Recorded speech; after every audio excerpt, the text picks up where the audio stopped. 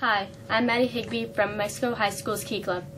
Hurricane Florence devastated towns and villages throughout the southeast less than a month ago.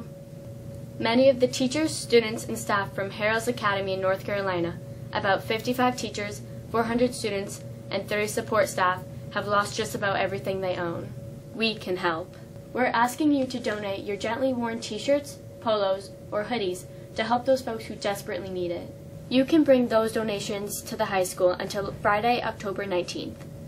Let them know that we'll give them the shirt off our backs. Thank you.